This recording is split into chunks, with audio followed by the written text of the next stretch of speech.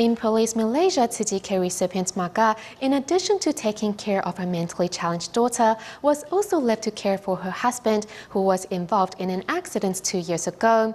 Luckily, Tzu Chi volunteers took the family under its wing, and today not only has Magah overcome the darkest days of her life, but also donates to help those in greater need.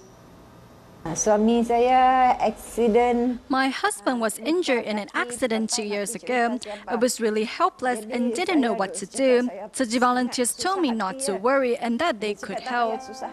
Speaking of the accident her husband was involved in two years ago, Tzu Chi care recipient Magah finds it easier now to let go of her sadness and even encourages her mentally challenged daughter to donate to help others. I put my spare change in the coin bank because I want to help others.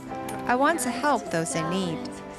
With a heart of gratitude, Magah not only gives what she can, but also inspires her neighbors to join her.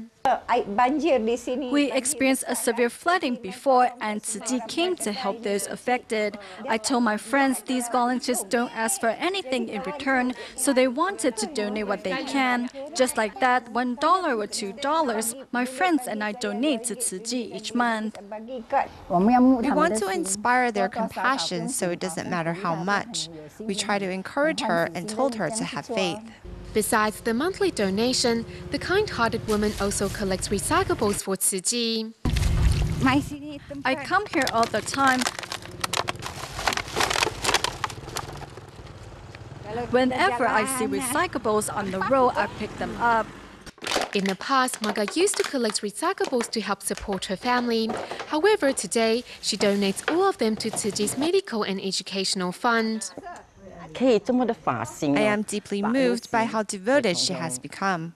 I would like to say thank you to Master Cheng Yen. We must be open minded to be like the Master who loves all sentient beings. The love and care of Chi volunteers has inspired the compassion in Magah's heart and led her to live a meaningful and colorful life.